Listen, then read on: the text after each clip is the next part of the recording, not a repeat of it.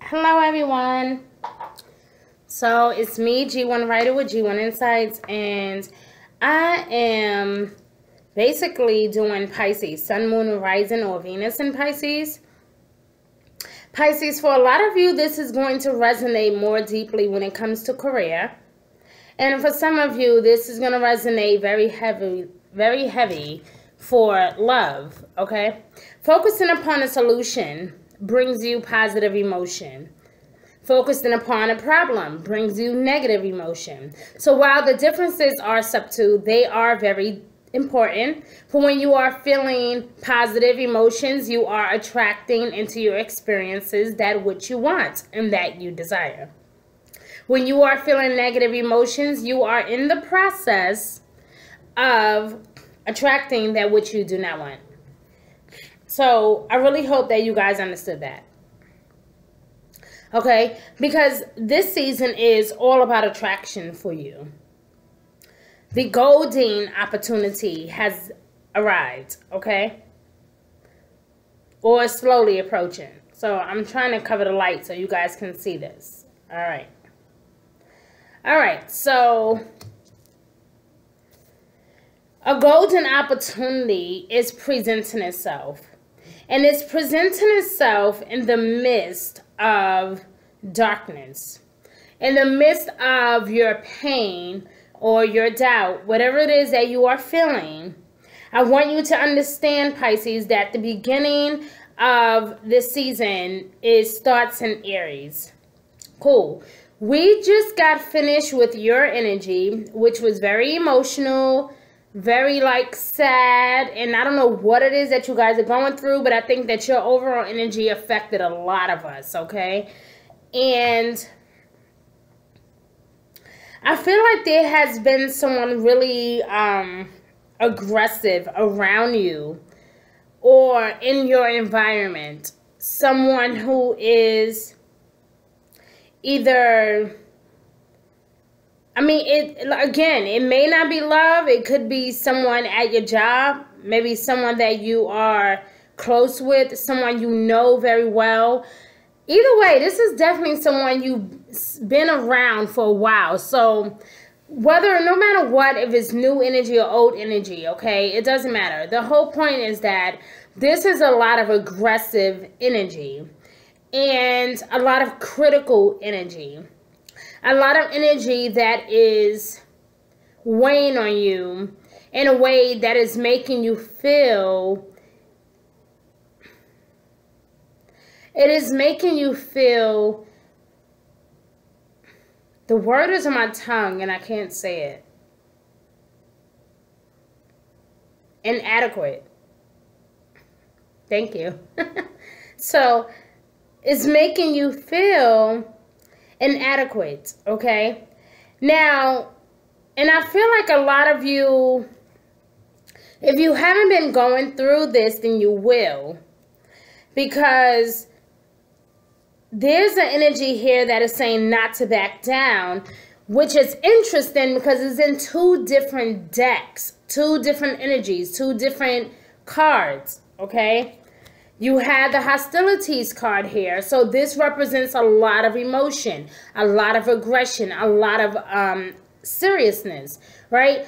Or maybe this is you doing this to someone hoping that they'll get their shit together, okay? Um, or this person could be doing this to you hoping that you get your shit together, okay? Not because you're a bad person, but because I feel like they feel like they have been dealing with your crap for like some time now and they want you to get it together so I feel, I hear and I feel a lot of that. Like, if you don't do this, then I'm gonna leave your ass. Like that type of conversation. Okay? And even if this is work related, I feel like there's a lot of hostility at work or in your environment, okay? So try your best to think about your environment, people around you, how people are responding to you, what they are saying. Pay attention to those things. Make sure that this is not you doing this to someone, okay? So hostilities came out as your overall energy. And then Goddess Brigit came out with Don't Back Down. So this is for a lot of you, this is like, nope, I'm gonna say what I gotta say. They're gonna know what I mean and what I feel right now, or they can get the hell out. I don't care. It's my way or the highway. Oh well. You know? And I want you to understand that when you act in a place of emotion, human emotion, okay? It can quickly lead to destruction and for some of you you might not really give a damn right? Like some of you may not even care that is leading to destruction. Some of you may notice it later on and you might be like oops did i do that? You know what i mean? Like sorry i was pissed off. You know what i mean? Like so try to be very cautious around this time because i mean and again, for a lot of you, my allergies are really bothering me. so for a lot of you, this could be energy that was going on during Mercury retrograde and maybe you know, guys, going into the first week of April or even the second week of April, we're still dealing with a lot of that Mercury retrograde energy. We are still dealing with that. So, yes, expect confusion to still be at its best.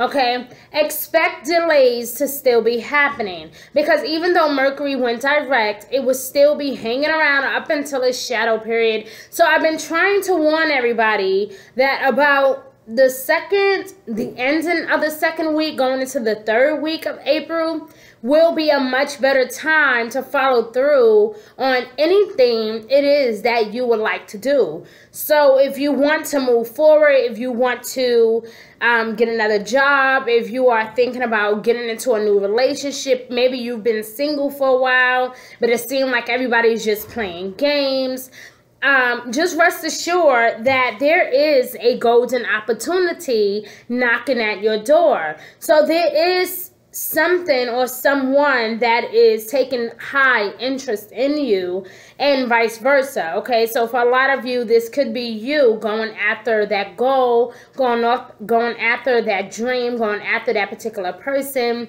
i just feel like this is a energy where you you know what you want and you're working towards it and you're not you're trying to get i feel like you're trying to get away from this so that you can focus on this okay? So you can focus on that grand opportunity okay? But whatever this aggressive energy is i feel like do not be afraid of whatever is transpiring at the moment, okay? Because you also got butterfly maiden, and that is all about transformation. That's all about putting a stop to what doesn't serve you or putting an end to something. So for a lot of you, this is an ending, okay? And for a lot of you, this is an ending, but it's also a beginning. You have to keep in mind the energies of the planets right now. We just finished celebrating this spring equinox.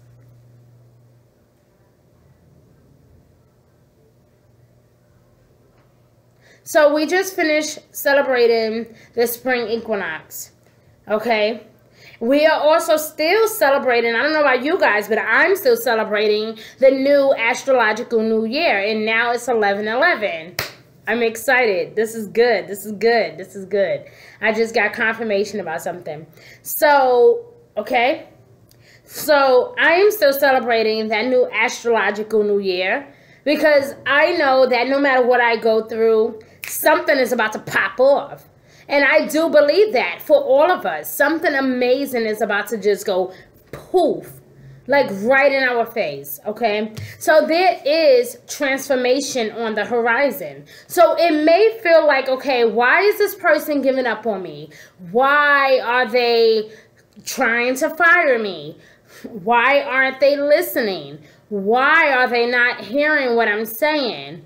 Okay? Why aren't they returning any of my calls listen, the signs are there, okay? Nobody is going to baby you this season, Pisces. So what that means is that you have to snap out of your natural um daydreams, okay? And you're going to have to kind of will yourself back in and say, "You know what? I have to do what I have to do for me. No matter who said they're going to be there for me, no matter what they say, I have to be there for me, right? Because when it's all said and done, it's going to be me going through those things, okay? And so I feel like this is kind of like you taking your life back, but you are experiencing some type of enormous change right now Okay, you are experiencing some enormous change right now, which brings great blessings. So I do see a lot of amazing opportunities here for you. So again, this could be a new job, a new promotion. Anytime there's a new astrological new year and the spring equinox and the sun is in Aries, trust me, there's a lot of passion. There's a lot of straightforwardness, a lot of directness if that's even a word. a lot of assertiveness is what I should have said, right? So, so April 5th, we have the new moon in Aries. But remember, the sun is in Aries. The new moon is going to be in Aries. Ugh. Yes, we are still dealing with some of that Mercury retrograde. So while you are pumped up and excited and ready to hit the road, Jack, and ready to, to you know, take on this new project or this new business or what this new spouse, whatever it is, I need you to calm down a bit. Just wait a minute. If you can, if it's not life or death, hold your horses, okay? Wait until the end of the second week, going into the third week of April. By then, you know, of course, we'll have that Jupiter retrograde because the universe never lets up, right? So we will have that Jupiter retrograde. And Jupiter retrograde is going into Sagittarius, I believe. So, uh, with that being said, everything is going to be like, wow, this is amazing. This is exciting. Oh my God, he's so fine. Yes, I want to marry you. Yes, I want to be with you. Yes, I'll take that job. Yes, I'll start that business, right? Everything is going to be like, like expansion because that's what Jupiter does. It expands. It expands our thinking, our thought process. It expands the way we deal with situations. And it can even make something seem like it's greater than thou. Okay? So you have to will it back in. You have to be stronger this season when it comes to your emotions. You have to be stronger than the eye, stronger than your emotion. Do not allow your feelings or your emotion or your heart to do something that you are not really quite ready to do. Okay? So just wait because I feel like there is transformation on the horizon. There is a golden opportunity. So you are right, but the timing is bad. Not right now. Wait until the third week of April, going into early May. That way, the reason why I'm saying that, guys, and I'm not trying to be like pessimistic, but the reason why I'm saying all this is because the sun will then go into Taurus. Taurus, Uranus is in Taurus. Rebellious, okay? Rebellious energy, going after you want, being extra determined, and Taurus, I mean, if you're dating a Taurus, and this would be good for your relationship, of course, but their ruling planet is in your sign for now, anyway. And what that is going to do is amplify everything again. So while Jupiter is playing tricks on our mind, Venus is still hanging around talking about love and money. And then towards the end of April, you will have Saturn and Pluto go retrograde in Capricorn. So there's a lot of serious logic business to take care of. So you may find that you are more assertive around the third week of April where you are like, no, I'm okay, just cut my check, right? Like you want to get straight to the point because that is Capricorn's energy. And being the fact that Taurus is, you know, the, the earth sister of Capricorn, okay, um, the sun will be in their sign at that point. So this is really good when it comes to your stability strategic planning, making sure that you got all the, you know, you're crossing all your T's and dotting your I's. All of this stable energy is going to help ground you so that you're not daydreaming so much, but that you are taking heed to what the universe is telling you. And then at the same time, Pluto is also going to go into Capricorn. Pluto is just like Saturn, very serious, mean business. Don't talk to me. I'm getting money right now. I'll talk to you later. I'll deal with you soon. But right now, I'm focused. And you, Pisces, because you are a natural daydreamer, you need that at times. You need something to shake every now and then to kind of bring you back in. You get what I'm saying? Because you have a tendency to kind of wander off and think that everything is a fucking fantasy. And it's not. And with Saturn going into Capricorn, we are all being reminded that we need to finish our homework because daddy is in town right? Like, because that is what Saturn and Pluto does. But Saturn in particular is the father figure of all planets like it is the the planets that represents wisdom and knowledge and um, the authority figure the the um, the teacher right so and, and it also rules um, capricorn and aquarius actually and aquarius ruling planet would be in taurus so you're going to have a lot of these different emotions about, okay, you're going to have that rebellious energy because of Uranus going to Taurus. And you are going to be feeling the aspects of Saturn and Pluto going into Capricorn. So there's a lot of being serious, doing what I want, focus on what I want to do. I don't care what you say, of course I'll leave. I don't want to be with you either. like I feel like there's there's this moment where I'm not chasing you. Do what you want. Fuck it. Fire me. Like I got other opportunities. Okay. Say what the fuck you want. Like I have another opportunity waiting for me anyway. I see a lot of you truly resigning okay? Taking the next step doing something that is broader and bigger than you especially because jupiter is going retrograde. And again that's all about expansion in work career finances um, and home related issues expansion. So new family new birth new growth, new you, new home, new car, expansion. Okay, this is growth to like a third dimension. So when you hear that Jupiter, Saturn, and Pluto is all going retrograde in one month, and it is also the new astrological new year season and we are still dealing with that spring equinox and we are still dealing with some of that mercury retrograde energy yeah you can kind of put the puzzles you know together okay April is going to be a serious, serious month for a kickoff, honey. So that it doesn't surprise me why you got a golden opportunity and transformation.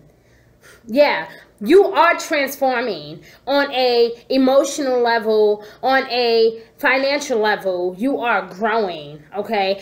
And again, for a lot of you, you may quit or resign from your job. For some of you, I hate to break it, you may get fired. For some of you, it's okay to get fired. You don't care. You wanted that to happen anyway because, you know, you just you just don't care. You rather be at home making money anyway. Okay? For a lot of you, you will be looking forward to that new grant opportunity. So if you haven't had work in a while, then this is probably going to be a really, really good time for you financially, okay? But I recommend that you still wait until at least the third week of April if you can. But if it's absolutely necessary, then do what you have to do. You know, I would just double check everything, double check, you know, the contracts that I sign, um, location, making sure that it's convenient to where I live, making sure that the pay is really good. Like I would just kind of reconfirm all of the the small details that we we will ignore normally okay? So but other than that whatever this aggressive energy is going on either at work or at home um, or in a relationship for some of you this could be a parenting situation where you're beefing or having issues with um, another parent or you're co-parenting for some of you, this could be a legal issue where you maybe the hostilities are coming from basic frustrations where you're constantly trying to prove your point. This season, I feel like as long as you don't back down, but you do it in a very um, humble, loving way, in a very spiritual, religious way, right? Um, I think that everything will be okay for you. Everything is already working out. It is working out. So whatever that legal issue it is that you are dealing with is already being worked out. Again, there has been some frustration surrounding the circumstance or the situation or the person involved in this situation, but you are naturally going to come out on top because you are going to fight for what you believe. And this is stand up for what you believe is right. You had to let it be known. Listen, I didn't come here to just walk away, to just give up. So if someone maybe even trying to call the relationship off or break up with you, you can let them know, listen, look, I, I want to marry you. I want to do this thing. You know, let's move. Let's get our car. Let's do whatever we got to do. But I, I want something greater. Okay. So I'm going to do you guys overall energy um, one more time before I close out because it's my 20 minute mark and I got to go. All right, so show me Pisces, Sun, Moon, and Rising, or Venus and Pisces, overall energy for life and love for the month of April 2008, 2019. Woo! What happened? Whoa, whoa, whoa, whoa, whoa, whoa. Okay, I didn't touch nothing. You saw that. Okay, I'm not crazy. All right, like I said, love, something is ha- oh, oh, anxiety. Okay, it came out in reverse. So, yeah, we're, we're not doing this anymore, okay? Like I said, whatever hostilities, my love, you have been dealing with, listen, there has definitely been some really mo some moments where you felt criticized and judged and uh, misunderstood. Oh my God, Pisces, please review your parts you focus. It was your energy I was feeling. Woo! Between you and Scorpio, I knew it. I knew it. I knew it. I knew it. I felt it. When I was doing your partial focus, I kept saying, I don't feel like this is Cancer's energy. I feel like this is Pisces and mostly Scorpio's energy because you guys are normally so fucking emotional. Man, I felt this. And this is anxiety in reverse, meaning that you're not doing this anymore. No more pouting, no more stressing or depressing and, you know, feeling all down and everything. Like you got the transformation going on. You are ready for something totally new. You're like, look, I'm not dealing with all this aggression anymore. You're not going to continue to talk to me the way that you've been talking to me, mistreating me, throwing my shit outside, cursing me out. Like you do not get the chance to do that to me ever again. You're not doing this to me again. No, absolutely not. You're not going to continue to disrespect me, right? I'm going to get what I came for. I'm going to finish school. I'm going to get my degree, and you're just going to wait and be fucking patient. And then once I get what I want, then if you want to say the hell with me, then so be it, right? Like, I just feel like a lot of you are just telling the person, ah, ah, ah, not right now. I'm going to do me, and you're going to shut the fuck up and let me do me. I got excited just now for some reason. I feel like somebody just got their groove back. They're like, uh, oh, well, don't talk to me. I got this. You know, oh, yeah, Pisces. Hmm. I just feel a lot of you putting somebody in a place. That is what I'm feeling. That's why I just got super cocky. I feel like a lot of you just put somebody in a place. Mm-hmm. So going into the third week of April, yeah, try not to talk too much though. Don't don't you know you don't want to be spiteful. Even though we know how vengeful you can be, you know we don't want you to be vindictive too much because you don't want to miss out on that beautiful blessing coming your way now, love. Right? So what you have to do is understand that this person is disrespectful. Don't say anything. Follow your heart and stick to your guts. That's it. Trust me. Transformation golden opportunity. We're not dealing with this negative emotion anymore. Okay? So we're not even going to look at it. You're doing great, my love. Transformation and golden opportunity. It's all of you. Pisces, I love you, but I got to go. I'm past my 20 minute mark. Please comment below. Let me know who you are, where you're watching me from. If you are replaying this video, shout out to you because you are the best. I love you. Please share this message around the world because, honey, this is some deep, deep, deep-ish, okay? I love you. Check out my website, g1insights.org for a personal tarot reading. Bye, guys. Woo, Pisces.